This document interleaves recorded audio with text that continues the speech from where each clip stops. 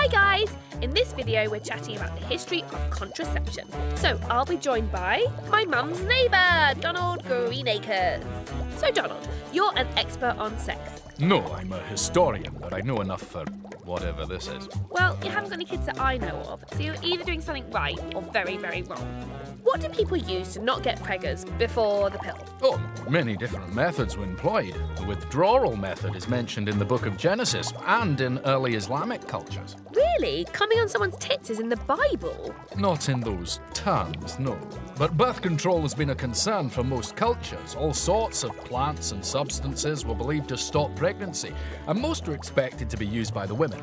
Bloody history. Even the enlightened Greeks had some fanciful notions. A treatise on gynecology was written by a Greek physician called Soranus. Saw anus? Hmm, it's an odd name for an expert on fannies. He wrote four volumes on gynecology, a sort of war and peace for vaginas, and got some things very wrong. Soranus, my period is until next week, so can we please have sex now? Yes, all right. You're at your least fertile roundabout now. Yes! I don't want a baby in this house interrupting my cold, hard science. I don't want a baby with you either. In fact, you knowing about this stuff is the only reason I agreed to go out with you. As I promised, you shall never fall pregnant using my methods. Awesome. Now, take out the suppository I gave you. Oh, oh, finally. I felt like a mentalist having tree bark up my cooch. Now put some wool right up there Oh, seriously? and smear your front bottom with this mixture of olive oil and lead. Lead? You're making us up. Do you want to have sex or not? Yes, I have done for the last three weeks. I'm wetter than a sailor's sandal. Then use the bloody wool. Oh, fine, but that's it. My love bucket's not a builder's skip. Anything else? Massive weirdo. Yes. To further prevent pregnancy, you must hold your breath as I climax. Well, how will I know when that's going to happen? You could maybe start now. I'll suffocate after the first two minutes. That will not be a problem. Drink the water. How many more things do I have to do? Drink it. We haven't much time. Oh, it's freezing! It's supposed to be freezing. Now squat and sneeze. Squat and sneeze. What are the... Oh, Sarana! Will you just... Obey my science. You total twat. I. Oh. Today's sexy question.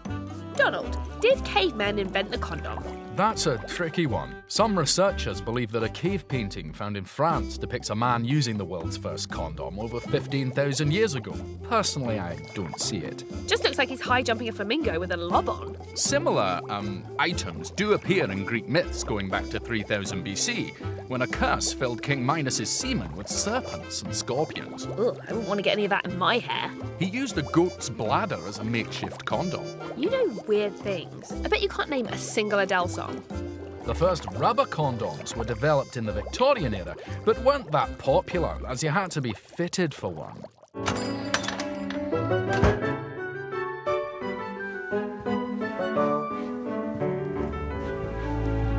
Good day. I wish to. Oh my, um. Uh, my apologies, young miss. I was quite expecting, um. If you're here to order a condom, we need your measurements and bank details. Oh, I. Uh, is there not a man I could talk to? No. How long is it?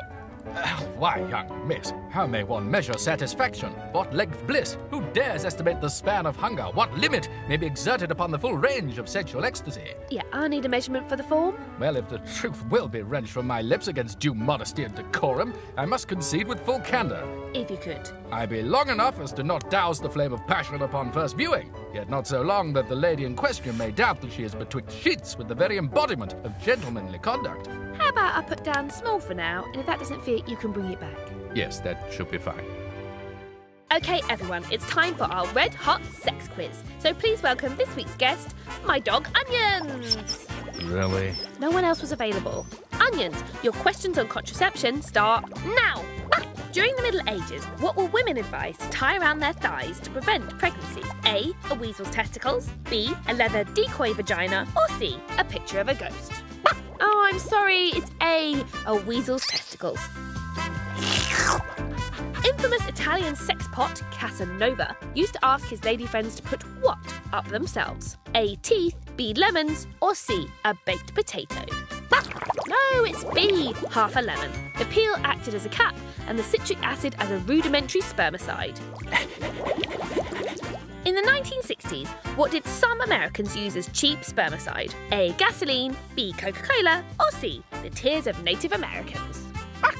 Well done, Onions! The answer is B. Coca Cola was used as a cheap spermicide for douche after sex. Women would shake a bottle, put it up themselves, and then take their thumb off the top and let the fizz do the rest. Onions, you scored one point. You good boy. Good boy, Onions. Good boy, Onions. Good boy. What is the point of any of this?